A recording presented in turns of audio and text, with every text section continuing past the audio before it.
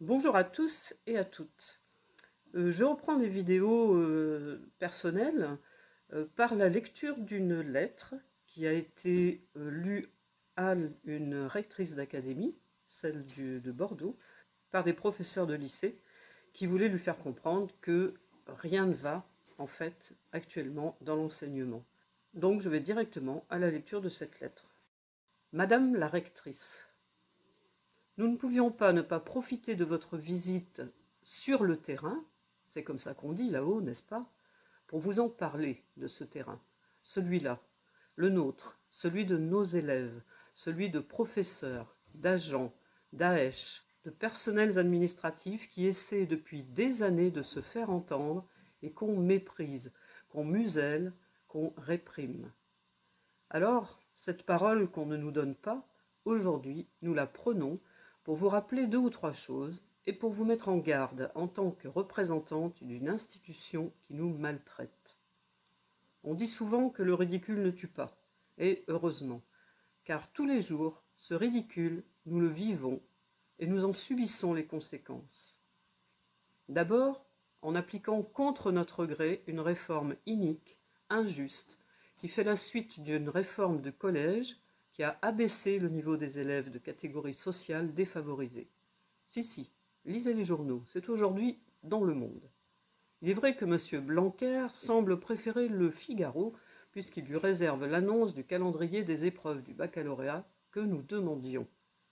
Une réforme qui vide de sens tout notre travail, qui réduit les horaires à peau de chagrin, qui permet de supprimer des demi-groupes pour, le plus possible, bourrez les élèves dans les classes, entassez-vous à 35-36, dans un calendrier délirant, les épreuves de terminale se déroulant en mars.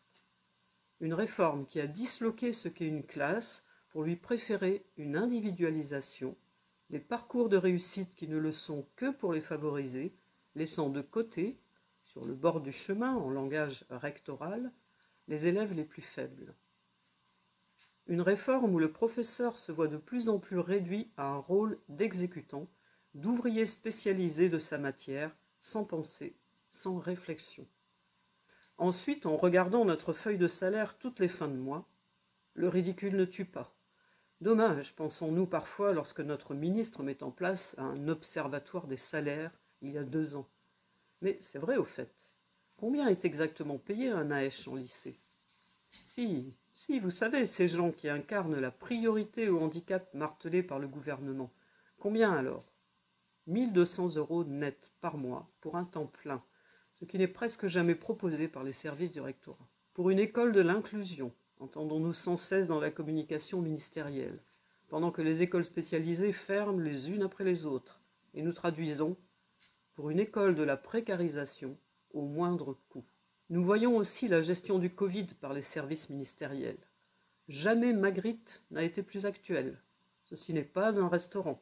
Devrait-on placarder sur des cantines qui accueillent plus de 800 élèves par jour quand des restaurants peuvent en accueillir 30 Lorsqu'une politique sanitaire se résume à la fourniture de masques qui ressemblent à des slips, et pas plus de 5, hein, quand un professeur n'a jamais vu un médecin du travail depuis sa titularisation, quand ce professeur se voit imposer un jour de carence pour le responsabiliser lorsqu'il est malade, quand ce professeur s'égosille dans son masque dans des salles de 35 mètres carrés avec un élève par mètre carré, nous nous réjouissons qu'en termes sanitaires également, le ridicule ne tue pas.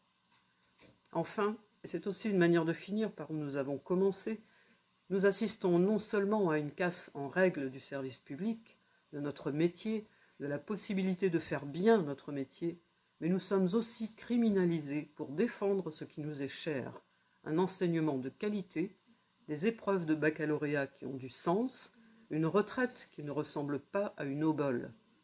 Pour la première fois, des collègues sont mis à pied, menacés pour leur engagement syndical, pour leur lutte contre des réformes scélérates et se retrouvent mis au banc de la communauté enseignante. C'est aux collègues de mademoiselle que nous faisons référence, mais peut-être bientôt à nous-mêmes, car dire la vérité à une rectrice, n'est-ce pas déjà insulter l'institution qui nous nourrit? C'est pour toutes ces raisons, et parce que nous sommes pleins d'humanité, que nous nous réjouissons que le ridicule ne tue pas. En revanche, Les réformes telles qu'elles sont menées depuis de nombreuses années tuent, à petit feu, sans faire de bruit souvent, avec fracas parfois, comme dans le cas de notre collègue professeur des écoles, Christine Renon. Alors, nous n'attendons pas de réponse à cette prise de parole.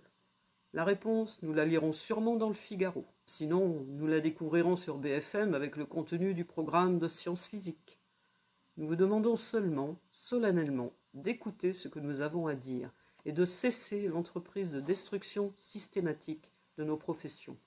Sinon, vous nous retrouverez non pas au bord du chemin, mais sur votre chemin, pour défendre ce en quoi nous croyons. Bonne journée à vous, et c'est signé les enseignants du lycée Magendie à Bordeaux.